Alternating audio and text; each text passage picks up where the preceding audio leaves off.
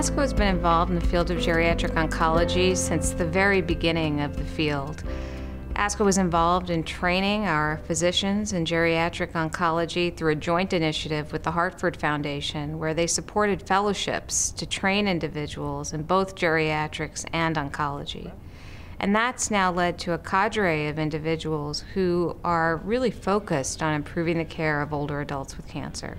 What we know is that cancer is a disease associated with aging, and because of that, what we are going to see is a 67% increase in cancer incidence in individuals aged 65 and over from 2010 to 2030.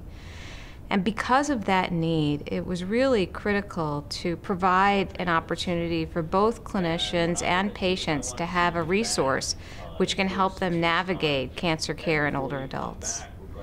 This website provides detailed information about resources for both doctors and patients uh, about the data and latest advances in cancer care for older adults.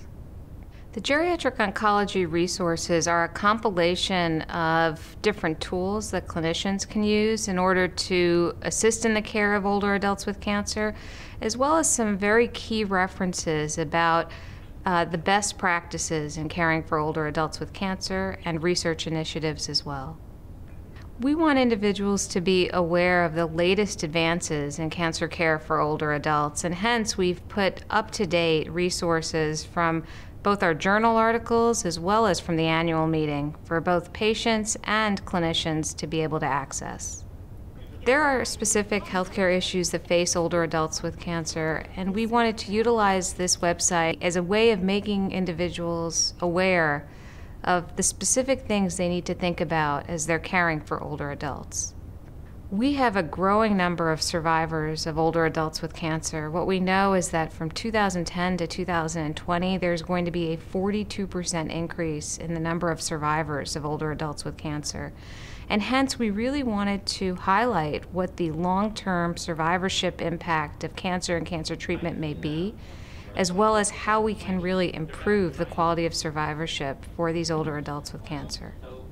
We hope that several audiences will benefit from the information on this site. Certainly, there is information that's there for doctors and healthcare providers who are taking care of older adults with cancer, but also there are resources for our patients, there are resources for our trainees, there are resources for our family caregivers. We welcome feedback on the website. We want this to be a comprehensive resource for individuals who are either caring for older adults with cancer or are older adults themselves, and hence we would welcome your feedback on how we can improve this website.